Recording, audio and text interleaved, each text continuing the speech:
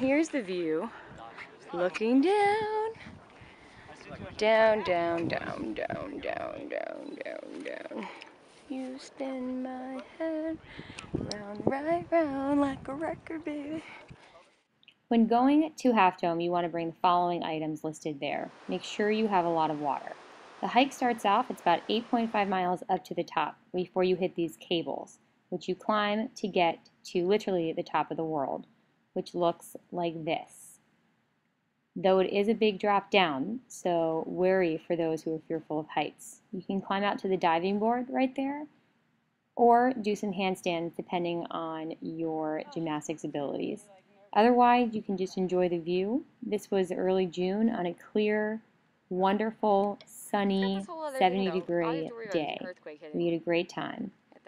For those I mentioned are not afraid of heights, you can head out to the diving board like this guy, scoot yourself over, and then give a big Y for Yosemite. On the way home, hit the falls. This is about an hour away from Yosemite, and you can enjoy the sun, and if you are brave enough, you can jump off this rock that you can climb up down below. Warning, the water is pretty cold, though it is a lot of fun. Enjoy your trip without a bungee.